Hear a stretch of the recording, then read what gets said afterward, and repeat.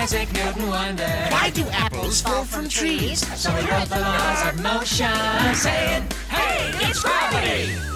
Gravity's intensity will keep you on the ground. Everything that goes up Eventually comes down. But wait, there's more. When you're deep in outer space, gravity's the thing that moves the moon around us like a yo-yo on a string. Gravity's intensity is working all the time. So let the force be with you, as it cannot be denied.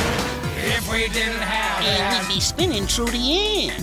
We'd have to eat upside down. We need some napkins over here. Gravity's intensity's gonna pull you to the ground. Everything that goes up eventually comes down. ooh, ooh, that's gravity for you.